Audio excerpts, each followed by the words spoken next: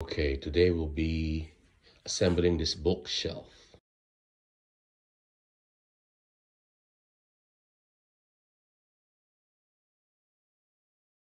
All done. One thing to point out, uh, this kit comes with its own tool. Mostly it uses an Allen wrench head and it comes with the extra parts. So don't be afraid or don't panic if you see, oh, you have extra, extra bolt. So that's just how they come with. It's pretty easy.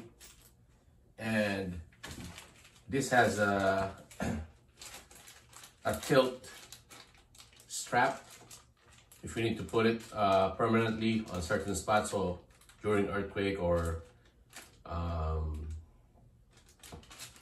when kids are around also like when it won't fall over and uh, cause injury.